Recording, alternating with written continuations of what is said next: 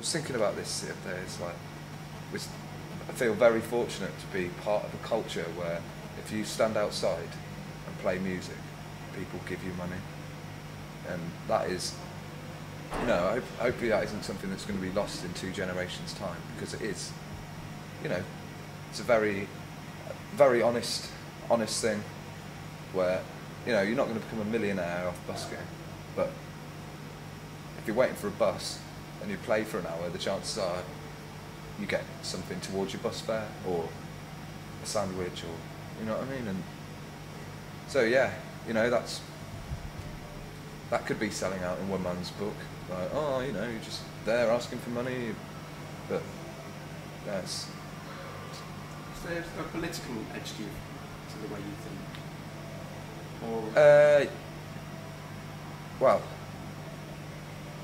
yeah I'm sort of uh, passionately uh, anti-fascist uh, can think uh, the consumerist nature of our society is uh, quite a quite a damaging a damaging thing, and people have their heads stuck up their asses about about first world problems when really, you know, if you're born in England, you've won the lottery. I've always found uh, musicians quite interesting politically because um, there's al- it almost feels like the after Woodstock you've got to be left because all brothers sisters love one another and all the rest of it. Yeah.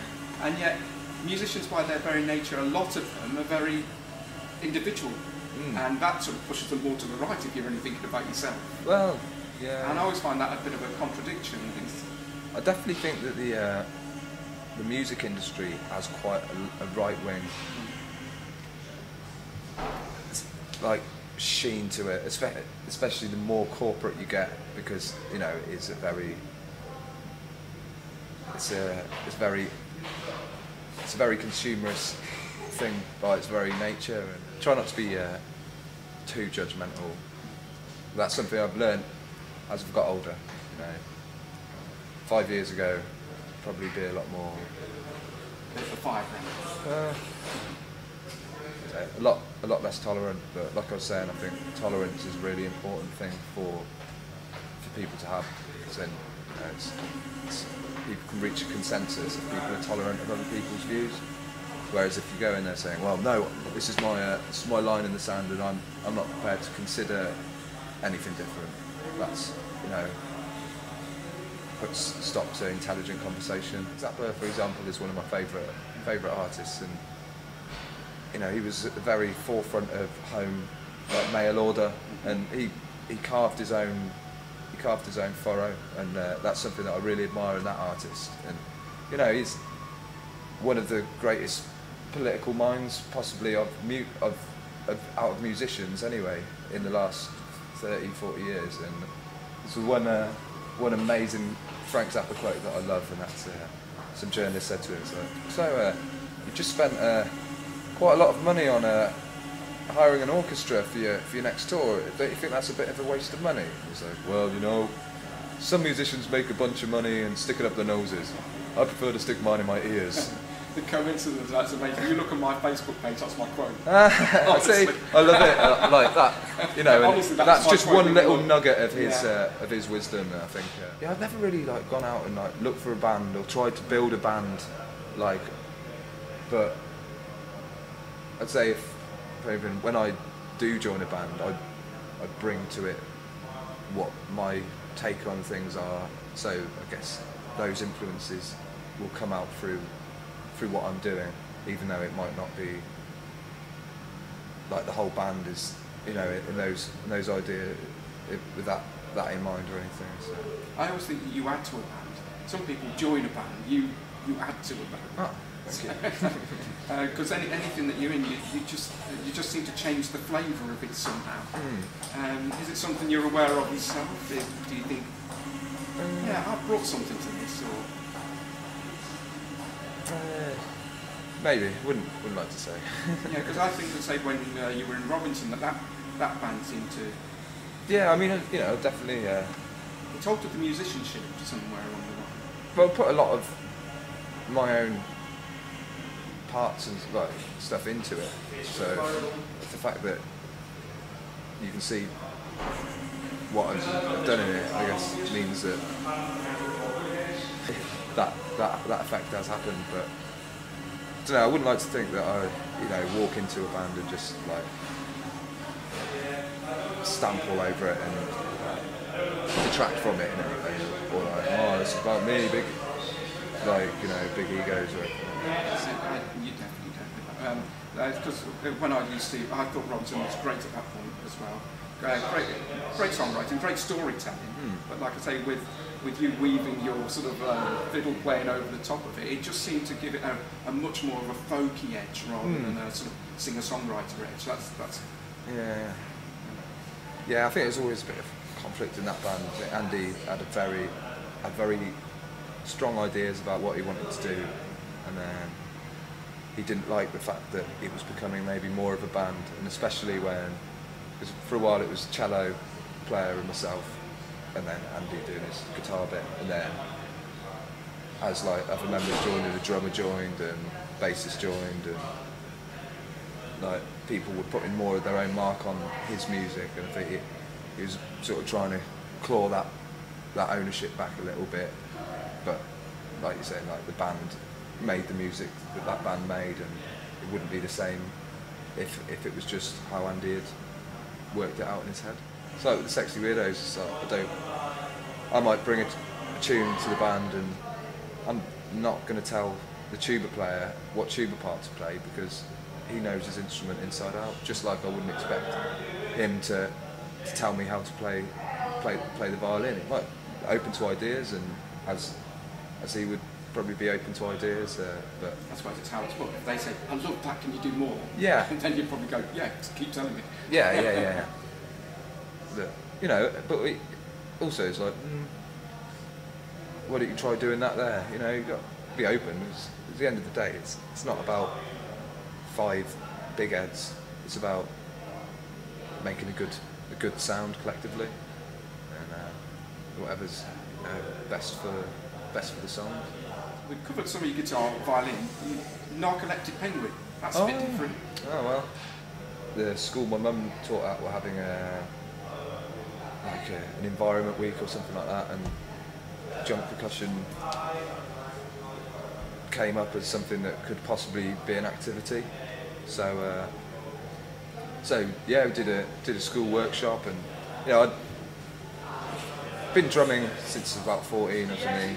School music room, just to go on drum kit, and then played a bit in the Toxic Pigeon, or like set up in when he had like drum kit set up in a house and play on it, and just part of that growing up, playing playing music, and uh, yeah, and with the jump percussion, it just worked out that we did a bit of workshops, and oh, someone actually wants to pay us, and then started busking with it, and it's like, whoa, people really like this, so it was kind of a, a way of a way of subsidising like other other music that meant that I could still work as a musician and didn't have to like put put what I really wanted to do, my ambitions, wh- what I really want to do, being touring, recording, playing, put that on hold to, you know, I've done loads of factory work, agency work, all that, and I'd kind of prefer to go out into town with my mates on a Saturday afternoon or a weekday afternoon and play drums for a few hours and get enough money to, to get by. It doesn't look rehearsed. It looks like it's all made up on the spot. It is. yeah. It looks like something you all really enjoy as well. Oh yeah, definitely. And like I've played loads of violin in the street, but tell you what, an hour playing the violin passes a lot slower than playing drums with a bunch of mates, and it's also more lucrative. So What about instruments? Got any stories about the uh, guitars, violins? And yeah, uh, yeah. Well, the vi- one of my, I said my, my granddad sort of got got me into playing the violin in the first place, and then uh, he, he he died uh, a few years ago, and uh, I I inherited from him a uh, a violin that he'd he'd made like by hand, sat around s- scratching it out with a bit of glass, like really, and so I've got that instrument and then another like his his violin that he he bought. So I inherited both those like, lovely instruments, which I'm very uh, fortunate. It must be very special playing them. rather than- Yeah, yeah, you know, like played the one he made like, at his funeral, and uh, it's more. I don't. I, I treat it more as a like a like a, a kind of a, a ceremonial sword, rather than I, I wouldn't like take it out busking and stuff like that 'cause it's it's just it's, just priceless. So you played some pretty high profile gigs then, John, um, with uh, Narcoleptic Penguin, Big Chill, Damage to Do you want to tell us about the Big Chill one first? Yeah, well, the big chill came about because there was an advert in the local paper saying looking for buskers and walkabout performances. So Ed got on it, sent an email, got 10 tickets to go to the festival. So did that, and then that happened for a few years in a row. You started to get quite an audience, I thought. quite- quite good. Yeah, it was all really guerrilla. Like, you know, the best the best gigs we had were like at the festival because we just literally walk around with the drums and set up and play somewhere. But the best was when at the uh, you know the main stages have finished, everyone's sort of a bit zombified, walking around looking for some other music, and there we are in the field. And everyone start like, emceeing over the top. And the best one was the last, the last time we played there, and it was Sunday night. All the main stage music had finished, and we'd set up and we were drumming, and there was massive, massive crowd around us, and security guards came over and and tried to stop it, and you could just see the crowd were ready to like just They weren't Big Chilled. you know it was a real, real edit like really energized. And you've just been on tour with the Sexy Weirdos, Yeah. tour in Europe. Do you want to tell us a few stories on there that can be broadcast? So we had three gigs booked. Didn't have a van until a week before, but through through uh, friends and contacts managed to buy a buy a half decent van. So uh, yeah, got over there, drove drove to Prague. The uh, sparks out the exhaust at one point, but uh, we were going about 80 miles an hour. and uh, yeah, so yeah, gig in Prague. But first thing we did was went busking in the big old uh, Staré Město, the big old town square. Um, yes, did that. Had a good good crowd of tourists and that, and played little venue. And went on to Leipzig where we had a, a gig booked in a like, on a trailer park, just a load of crusties and like really like like activists and that. And then we didn't have another gig booked. That's that was Friday and Saturday, and we didn't have another gig booked till the Wednesday. But went to Berlin. So people had some friends there, so we had had a place to stay.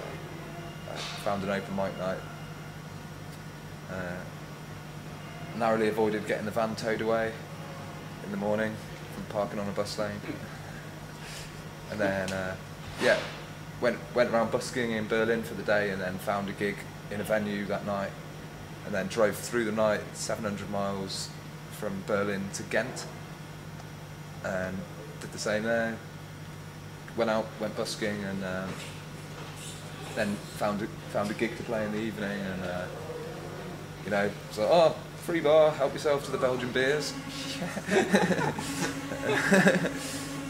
and and you know, we passed the hat round. The the owner gave us a load of money for petrol and that, and uh, and then the following day drove to Caen in France, North France, and uh, played in a little little bar with funny little band that reminded me of the Toxic Pigeon, and like yeah, went to a house, got really looked after and fed and watered, and you know, and the amazing thing is, even though we only had three gigs booked, because this magical busking malarkey where you can put your hat out there, we, we managed to end up 35 euros up from, you know, it's hard work, you know, we didn't sit around on our asses, it's so get up, Newtown, right, carry the heavy instruments,